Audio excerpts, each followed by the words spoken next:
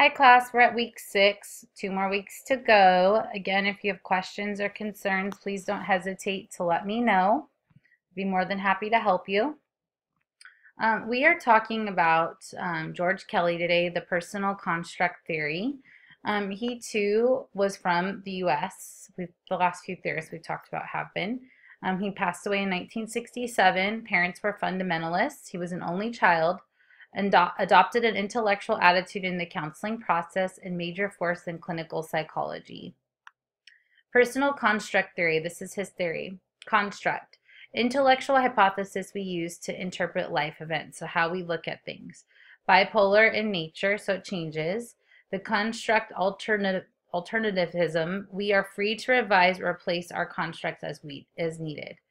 So we can change things. Ways of anticipating life events, fundamental postulate. Psychological processes are directed by how we anticipate events.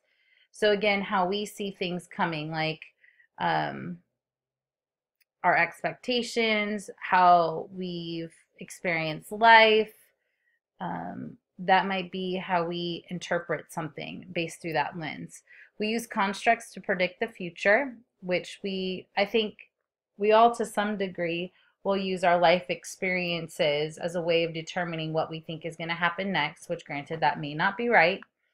There was 11 um, different ways he saw that we could be anticipating things. So construction, individuality, organization, dichotomy, choice, range, experience, modulation, fragmentation, commonality, and sociality. So I'm not going to go over each one of those for time's sake, but um, your text will. So these are the 11 different ways he saw that you could be anticipating life events.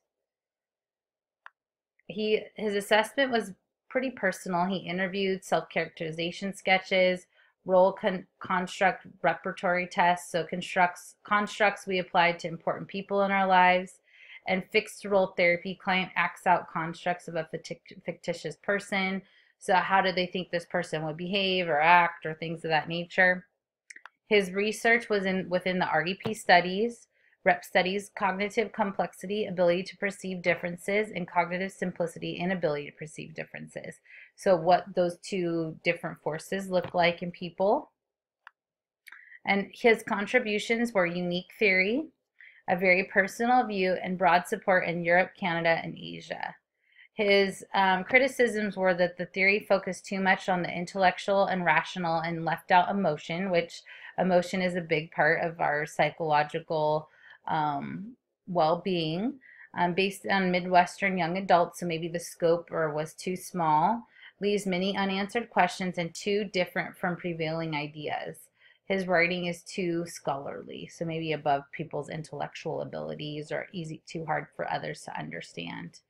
Um, so this is brief, but I hope you're able. This there's just this one chapter this week. Um, I hope you're able to get into the 11 um, different corollaries um, and see how each one of them anticipates life events differently. Um, and again, if you have any questions, please let me know. We just have two weeks left. So I hope this is helpful for you. Um, and I we I will see you again week seven. Thank you.